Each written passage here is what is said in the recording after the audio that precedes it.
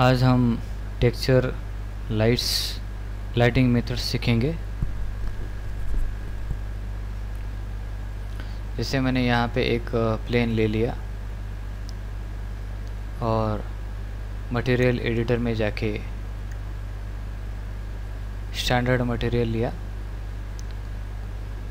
मैंने ऑलरेडी कुछ images download करके रखी है, जैसे कि मैप चेकर मैप इसको अगर इम्प्लीमेंट करता हूँ।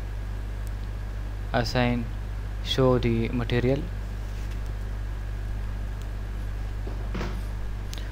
तो ये प्लेन पे जो टेक्सचर दिखाई देता है, वो तो सही ही है। लेकिन जो कॉम्प्लेक्स शेप होगा सिलेंडर होगा स्पेयर होगा, उसके ऊपर जब हम इसको इम्प्लीमेंट करते हैं तो उसमें दिक्कत होता है। जैसे यू वी डब्ल्यू मैप इसको हम देखते हैं। एक यू डब्ल्यू मैप जो है to adjust mapping it defines how this material will be viewed U W mapping में प्लेनर होता है बाय डिफ़ॉल्ट प्लेनर आता है. लेकिन जब हमारा सिलेंड्रिकल मटेरियल होगा या फिर स्पेरिकल होगा तो उस मटेरियल पे जैसे यहाँ पे एक स्पेयर ले लेते हैं, एक सिलेंडर ले लेते हैं उसके ऊपर ये चेक मैप इम्प्लीमेंट करते हैं। जब हम देखते हैं कि चेक मैप पे ये सही तरीके से इम्प्लीमेंट नहीं हुआ है यू वी डब्ल्यू मैप करते हैं। ये जो चेक आना चाहिए था टॉप पे सही आया हुआ है सिलेंडर के। लेकिन साइड में आप देखेंगे तो ब्लैक एंड वाइट के बीच में एक शेडिंग है। वो प्रॉपर तरीके से इम्प्लीमेंट नहीं हुआ है। तो इसीलिए यू वी डब्ल्यू मैप का इस्तेमाल करके इस तरह से जो क्लियर है टॉप पे, वैसे ही टॉप और बॉटम में क्लियर लेकिन साइड में क्लियर नहीं है।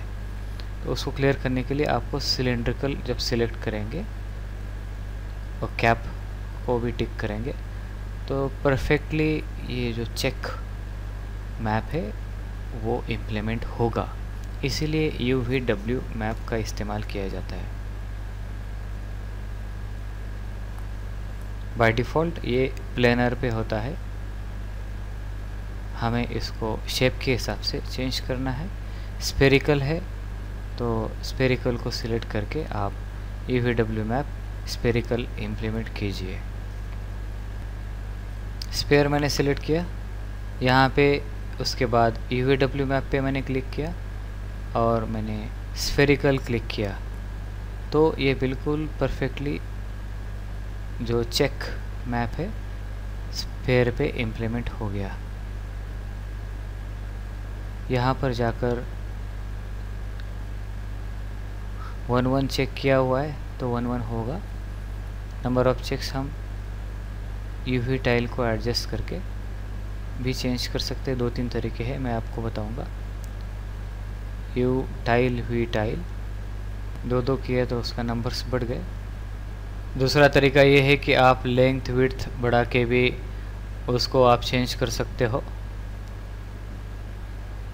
और जो तीसरा तरीका है, आप गिज़मो में इसको सिलेक्ट करके फिर रिसाइज टूल है, उसको इस्तेमाल करके ये तीसरे तरीके से आप इसको नंबर ऑफ़ टाइल्स बढ़ा सकते हो और मैप को आप ज़्यादा डेंस कर सकते हो।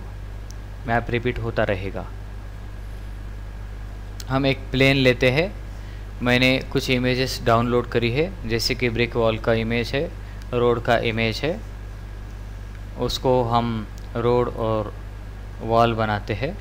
एक मैंने प्लेन ले लिया, दूसरे इस पे और मैंने वाई एक्सिस पे वाई और एक्स एक्सिस पे एक रोड के लिए प्लेन बनाया, दो प्लेन्स मैंने बनाए स्टैंडर्ड मटेरियल लेके।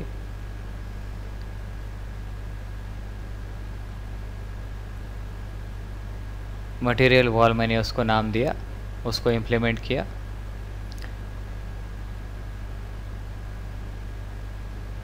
डिफ्यूज जनरल बिटमैप इसके बाद मैंने जहाँ पे इमेज सेव करी थी, वहाँ से मैंने ब्रिक का एक इमेज उठा लिया, उसके ऊपर इमेज लग गई। इसको हमने यूवी मैप लगाया। हम लेंथ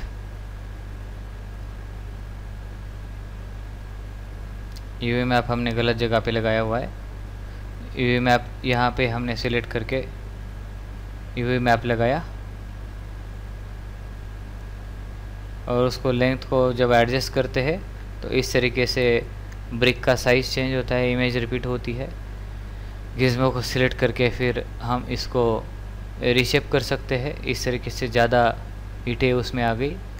इमेज को एडजस्ट इसमें दिक्कत यह है कि आपको सही तरीके से ये रिपीट जब होगा तो एक लाइन में नहीं आएगा।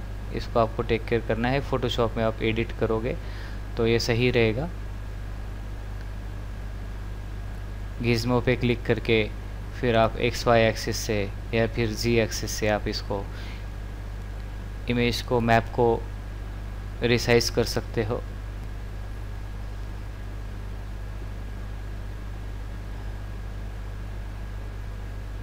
रोड की हमने साइज़ बढ़ा दी है।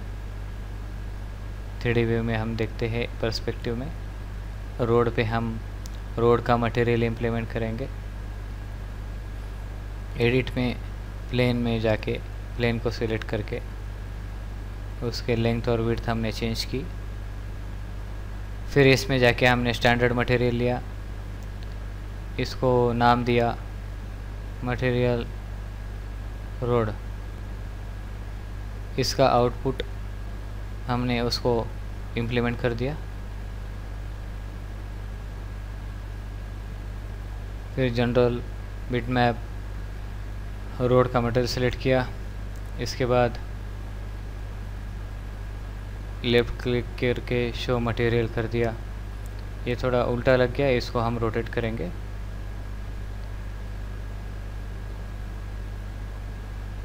गिज्मो पे क्लिक करना है आपको।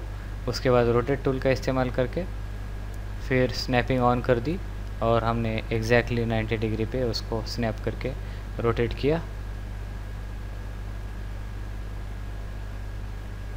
U V W map planar by default है, वो सही है। इसको हमने रिसेप किया रिसाइज किया, इस तरीके से आप रोड का टेक्सचर चेंज कर सकते हो। यहाँ पर हम अभी क्रिएट में जाके ऑटो ग्रिड ऑन करके बॉक्स लेते हैं। एक बॉक्स बनाते हैं एडवर्टाइजिंग फ्रेम बनाने के लिए। ऑटो ग्रिड ऑफ़ कर दिया। जो हमारा पर्पस था सॉल्व हो गया। तो हमेशा ऑटो ग्रिड ऑफ़ करते रहिएगा। इस बॉक्स को हमने एडिट मॉडिफाई में जाके बॉक्स को हमने एडिटेबल पॉली में कन्वर्ट किया। उसके बाद ऊपर का प्लेन सिलेक्ट करके हमने उसको इंसर्ट किया। उसके बाद एक्सट्रूड डाउन कर दिया अंदर। फ्रेम तैयार हो गया। इसको हमने आईडी असाइन करना है। सिलेक्ट इनवर्ट उसको दूसरा नंबर का आईडी दे दिया। मटेरियल्स को कलर शेप चेंज करने के लिए आईडी देने ज़रूरी है। पहले का आईडी वन है, दूसरे का जो फ्रेम है, उसका आईडी नंबर टू है। फिर यहाँ पे और एक मटेरियल लेके स्टैंडर्ड मटेरियल या फिर मल्टी सब ऑब्जेक्ट लेंगे, क्योंकि दो मटेरियल्स है वहाँ पे। हमने यहाँ पे इसकी क्वांटिटी दो कर दी। एक फ्रेम का मटेरियल है और एक अंदर वाला मटेरियल है जहाँ पे एडवर्टाइज लगेगी। फिर हमने स्टैंडर्ड मटेरियल लेकर मल्टी सब ऑब्जेक्ट को इसको इम्प्लीमेंट किया scan line material one material two diffuse colour में जाके बिट में आपको सिलेक्ट करके हमने कार को सिलेक्ट किया और इसको पहले इस पर हमने इम्प्लीमेंट कर दिया। दूसरा जो है हमारा फ्रेम का मटेरियल इसको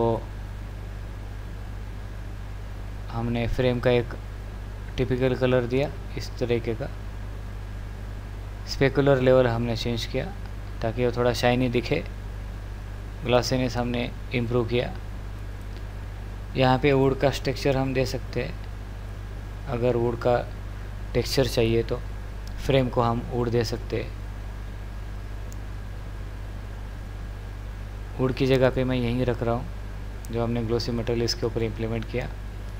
इम्प्लीमेंट करने के बाद उसको हमें राइट क्लिक करके show material show shaded material दिखाना है। इस तरीके से ये फ्रेम तैयार हो गया। रेंडर करके देखते हैं इसको।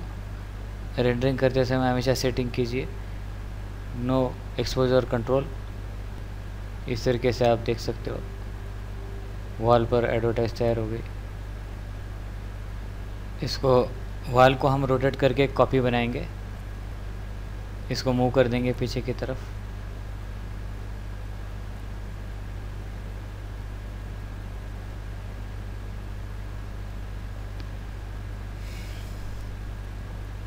मूव टूल का इस्तेमाल करके हमने दीवार को उस तरफ़ खिसका दिया। प्लेन रोड है, उसको थोड़ा बड़ा कर लेते हैं।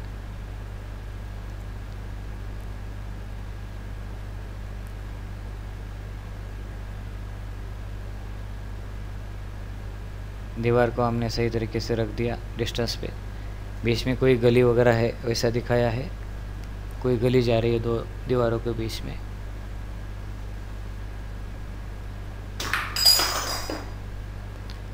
अभी हमने इसको नाम दिया लाइट्स फ़ाइल को।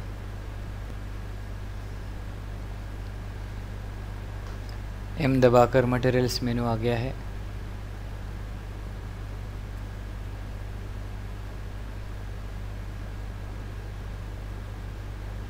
बीट मैप में हम बम्प्स दे सकते हैं। बम्प से ज़्यादा टेक्सचर क्लियर दिखेगा। यहाँ पे जाके आपको बम्प्स का क्वांटिटी चेंज कर सकते हो, ज़्यादा क्लियर दिखने के लिए।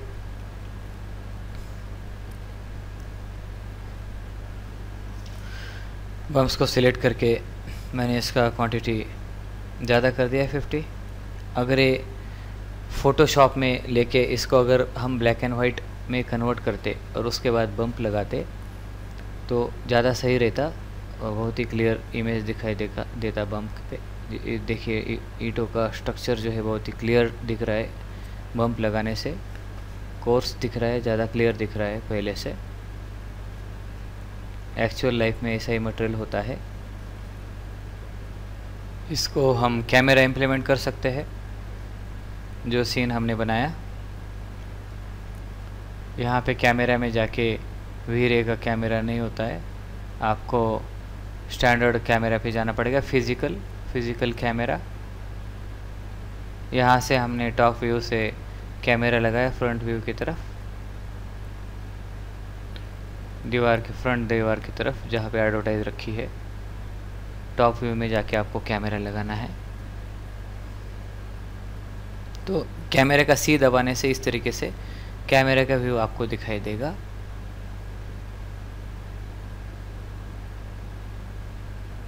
Standard camera, physical. आप इसको रेंडरिंग करके देख सकते हो। कस्टम अलग अलग टाइप के कैमरे का लेंस है। कैमरा में चार चीज़ें होती है। प्रीसेट होता है। कस्टम कर सकते हो, उसके बाद custom aperture value lens opening aperture value जितना आप ज़्यादा देंगे, उतना ज़्यादा लेंस ओपन होगा।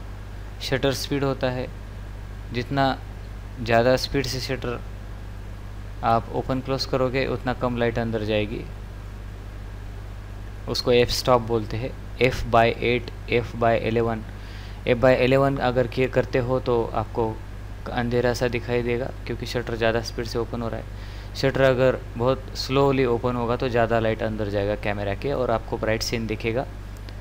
एक्सपोजर एक्सपोजर गेन होता है आईएसओ होता है।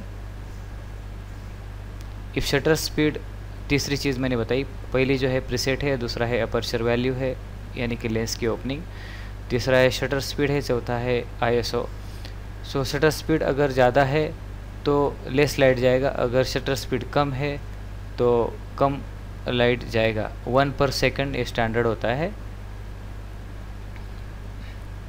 Shutter speed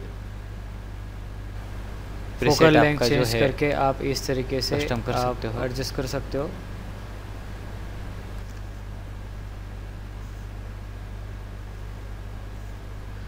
जो फोर्थ पैरामीटर है आईएसओ का उससे आपको पता चलता है कि फ़िल्म कितना सेंसिटिव है।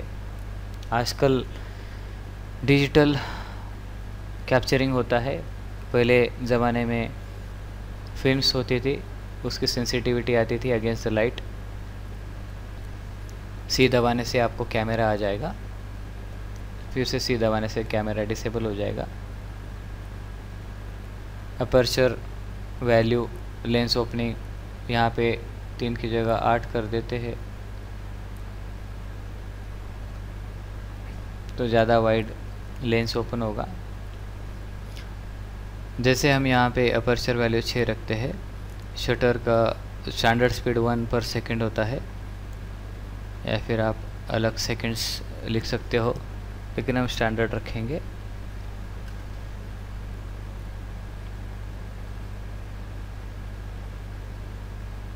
शटर का ड्यूरेशन आप एडजस्ट कर सकते हो one in thousand exposure gain manual अगर आप सेट करते हो आईएसओ इसको रेंडर करके देखते हैं हम। काफ़ी ब्राइट है। ड्यूरेशन अगर हम कम करते हैं, टेन कर देते हैं तो रेंडर करके देखिए क्योंकि शटर ओपन है ज़्यादा समय तक। तो इसीलिए ज़्यादा लाइट गया ब्राइट दिख रहा है। मैनुअल में हम हंड्रेड करते हैं। एक्सपोजर गेन तो ये ठीक हो गया है। सो अपर्चर वैल्यू ड्यूरेशन और आपका ड्यूरेशन को चेंज करके और एक्सपोजर गेन ये तीन मेन तीन मेन चीज़ें हैं, इसको कंट्रोल करके आप व्यूज़ को कंट्रोल कर सकते हो। कैमरा से आप उसको कैप्चर कर सकते हो। कैमरा सेटिंग बहुत इम्पोर्टेंट है। तो कैमरा में ये तीन चीज़ें आपने सीखी aperture value shutter speed duration और एक्सपोजर गेन मैनुअल करके उसको कैसे एडजस्ट करना है। रेंडर करके आप देख सकते हो। सो so, ये जो दिख रहा है ये सब कैमरा का डायरेक्शन से हमने कैमरा लगाया हुआ है। और एडिशनल हम कुछ चाफर बॉक्स लगाते हैं यहाँ पे सीन्स क्रिएट करने के लिए।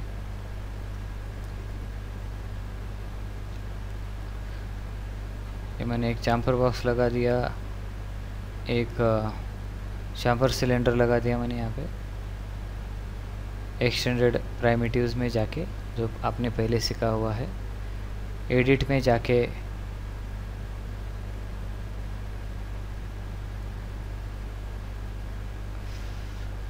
फिलेट सेगमेंट्स ज़्यादा स्मूथ कर दिया।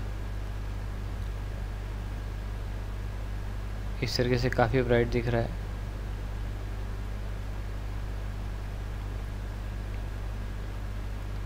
फिर रेंडर करके देखते हैं।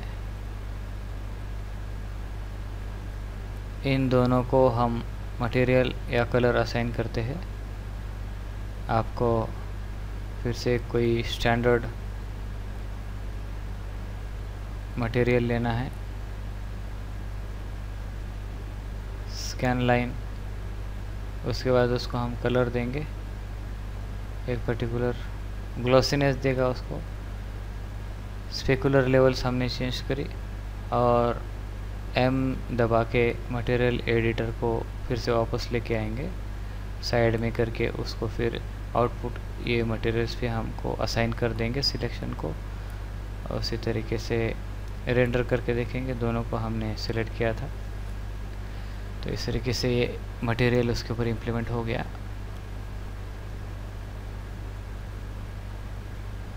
ये बाय डिफ़ॉल्ट लाइटिंग है। हम अब लाइटिंग पे आएँगे। स्पेसिफिक लाइटिंग हम देंगे इसको। एक डे सीन तैयार करेंगे और नाइट सीन तैयार करेंगे। Extended primitives lighting, standard, target, direct, ये टारगेट, डायरेक्ट हमने लाइट इस पे दिया। टॉप व्यू में जाके इसको हमने सामने से लाइट दिया। साइड से भी हम लाइट को सोर्स को डायरेक्शन चेंज करते हैं इस तरीके से।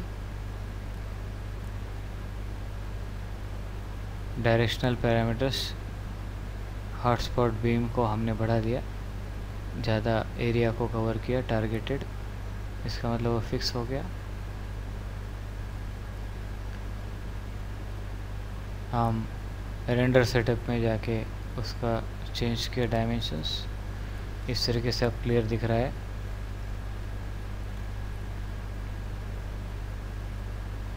हमने बम्प सेटअप किया, इससे क्लैरिटी बढ़ गई ब्रिक्स की।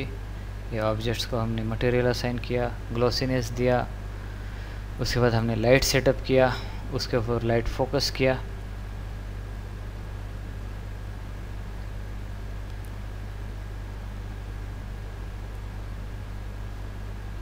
इसको हम कलर देते हैं।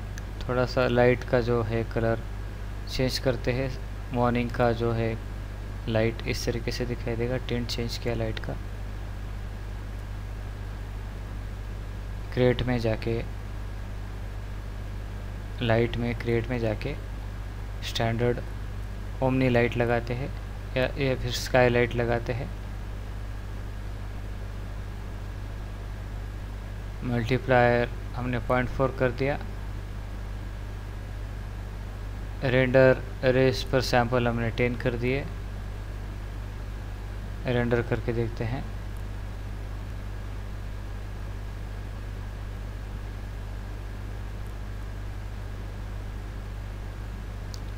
डायरेक्ट टारगेट ऑफ़ कर दिया हमने। जो हमने पहले लाइट लगाया था, उसको हमने ऑफ़ कर दिया। जो हमने नया लाइट लगाया हुआ है, उसको ऑन कर दिया। तो इस तरीके से ये आपको लाइटिंग इफ़ेक्ट्स दिखेंगे। ब्लू करने से इस तरीके से ब्लू टिंट आ जाएगा। हमने अभी लाइट्स को ऑन किया। ऑन करने से फिर ये ब्राइट हो जाएगा।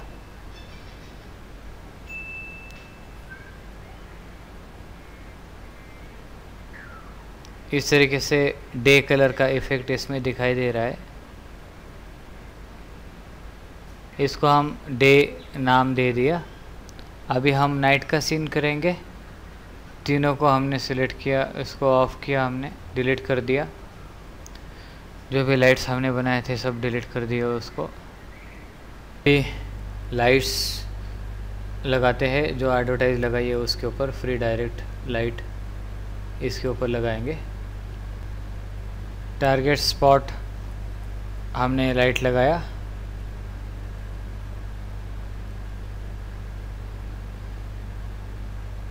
स्पॉटलाइट पैरामीटर्स इसको हमने चेंज किए स्पॉट को हमने चेंज किया इस तरीके से। इसी को हमने शिफ्ट ड्रैग करके एक और कॉपी बनाई। इसको हम पहले सेटिंग कर देते हैं इस लाइट को।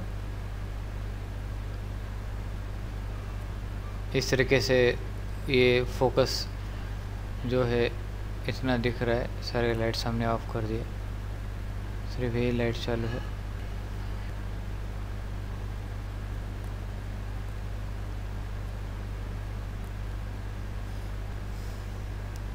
फॉर अटेन्यूएशन हमने चेंज कर दिया।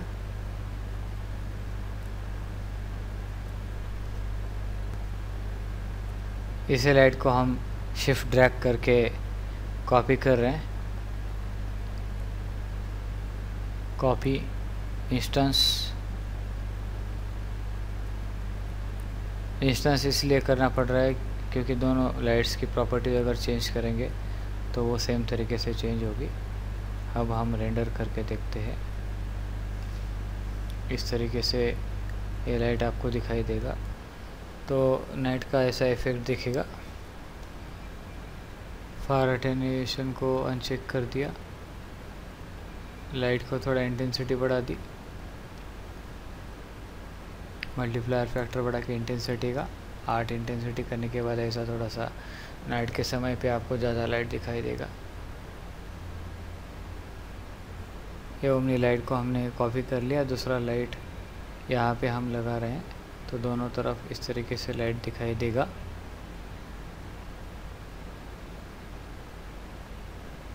मल्टीप्लायर जो है, इसका हम बढ़ाते लाइट का कार के ऊपर जो है, इसका जो है फर अटेन्यूएशन को हमने चेंज किया। तो एडवर्टाइज के ऊपर जो ओमनी लाइट जो है, हमने ऑफ़ किया अभी। ओमनी लाइट दूसरे को भी ऑफ़ किया, दोनों को हमने ऑफ़ कर दिया। अभी हम चेक करते हैं एडवर्टाइज जो है उसके ऊपर किस तरह के से रेंडर करके सिर्फ़ यही दिखाई देगा। अंधेरा छाया हुआ है चारों तरफ़। लाइट के लाइट को हम इसी तरीके से मूव करके उसको एडजस्ट कर रहे हैं फोकस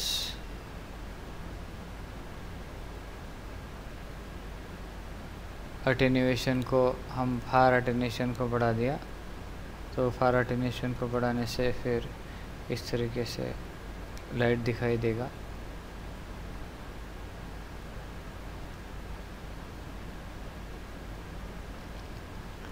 फ्रंट व्यू से हम, हमने इसको और एडजस्ट किया, दोनों लाइट्स को। रेंडर करके इस प्रकार से वो दीवार के ऊपर भी आएगा। तो अटेन्यूएशन बढ़ाने से उसका जो लेंथ है लाइट का वो बढ़ जाता है।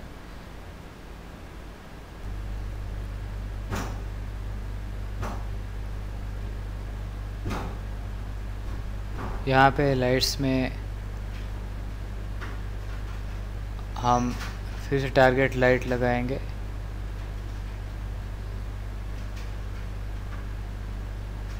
यहाँ पर हमने टारगेट लाइट लगाया। लाइट को एडजस्ट कर लिया।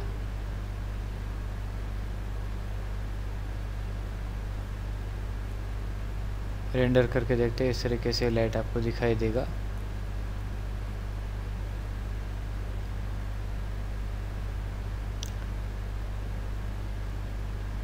एडिट में जाके हम टारगेट लाइट का चेंज करते हैं। रिसेस्ट 75 वॉट लैम्प अगर करते हैं तो इस तरीके से ट्रायंगुलर इसका फोकस आपको दिखाई देगा।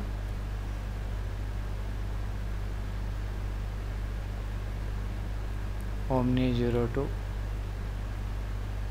इस तरीके से आपको दिखाई देगा।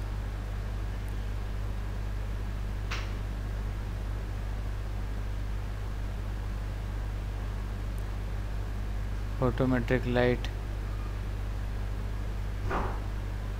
इसको जो पैरामीटर्स है उसके हिसाब से उसका लाइट पड़ेगा।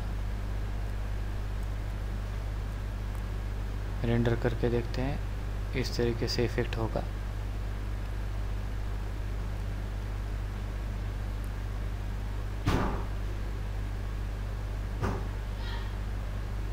दूसरा लाइट हमने कॉपी किया इंस्टेंस करके। इस तरीके से ये लाइट आ रहा है।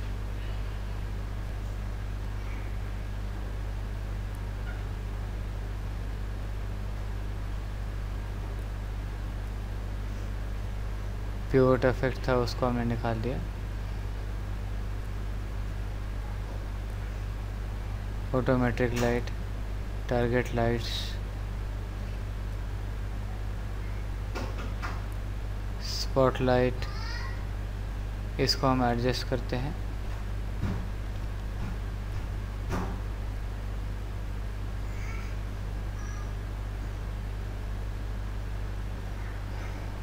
ये अलग टाइप का लाइट है। इससे नेचुरल इफ़ेक्ट आता है।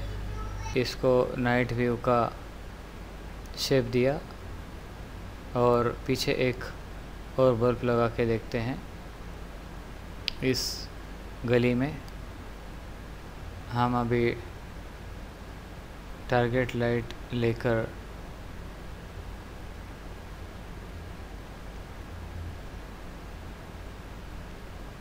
ऑटो ग्रेड करके उसी दीवार पे लाइट को लगाते हैं। Uniform uniform diffuse light light को हम एडजस्ट करते हैं। ऑन रखा है उस लाइट को।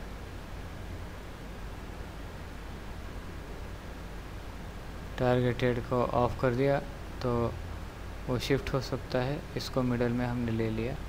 अब फ्री हो गया टारगेटेड को अनचेक करने से। हम अभी इसको रेंडरिंग करके देखते हैं क्या इफ़ेक्ट आता है।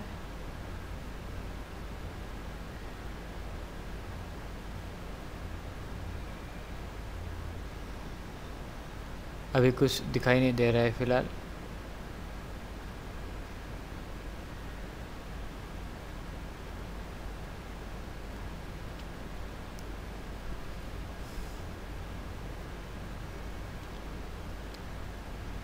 टॉप व्यू में जाके इसको लाइट को हमने सेलेक्ट किया। यहाँ पे परसेंटेज जो है डिमिंग का उसको बढ़ा दिया।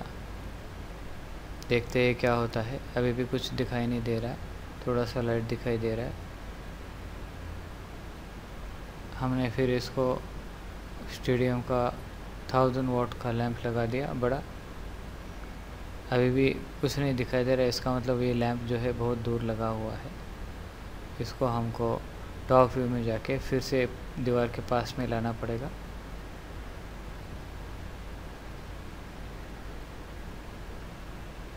हम इसको दीवार के पास लेके आए।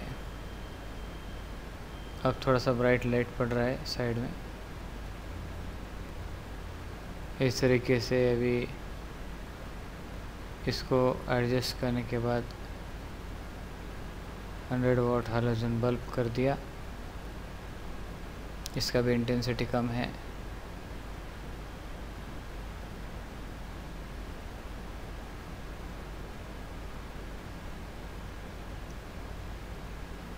इसमें एडजस्टमेंट के पैरामीटर से परसेंटेज को हमने डिमिंग के परसेंटेज को बढ़ा दिया। अब ब्राइट हो गया। लग रहा है कि पीछे कुछ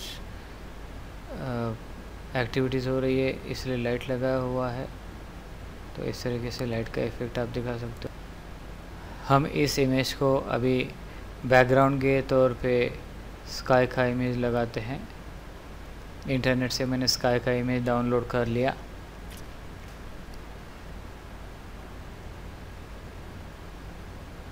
इमेज को मैंने स्काई करके सेव कर लिया।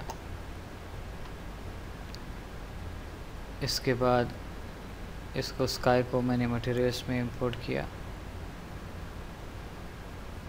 इस तरीके से बैकग्राउंड में इसका इमेज लग गया।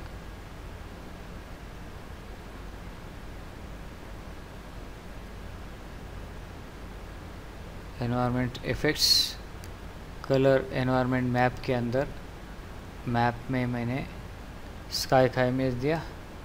एनवायरनमेंट टेक्चर अगर करता हूँ तो इस तरीके से एक इमेज काफ़ी जगह पे बैकग्राउंड पे आ जाएगी। वो नहीं चाहिए। हमें एनवायरनमेंट पे आपको क्लिक करना है। एनवायरनमेंट के क्लिक करने के बाद